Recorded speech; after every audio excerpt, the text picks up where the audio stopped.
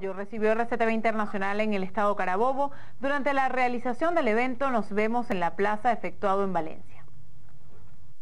Una vez más el respaldo incondicional de los venezolanos hacia nuestro canal quedó evidenciado a dos años del cierre de la planta. De todo el mundo, de todo. Extraña Radio Caracas, que lo claro que sí.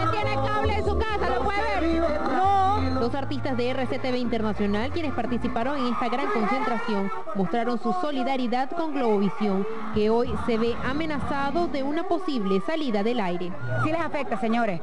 Les está llegando a ustedes cada vez más cerca y cada vez que quieran tener, hacer una denuncia, tener un micrófono delante de ustedes para que alguien los escuche, para hacer esa denuncia, para hacer ese reclamo, cada vez son menos las ventanas, las puertas que se le abren. La realidad es que definitivamente nos quieren quitar los medios de comunicación donde podemos, donde podemos comunicarnos, podemos hablar, podemos poner denuncias. O sea, es un medio que no es de un grupito de venezolanos, como, como lo hace creer el gobierno. Por su parte, autoridades regionales, así como el movimiento estudiantil de la entidad, hicieron un llamado a los ciudadanos a luchar por la libertad de expresión. Que estamos dispuestos a defender nuestros derechos, el de la libertad de expresión, pero también nuestro derecho a la propiedad, nuestro derecho a educar nuestros hijos como nosotros creamos conveniente, nuestro derecho a trabajar, nuestro derecho a la libertad de empresa y todos esos derechos que vienen que vienen a ser amenazados. Y aquí están sus altos panas, los estudiantes, que seguimos con ustedes y que, y que vamos a defender la libertad de expresión y la democracia de Venezuela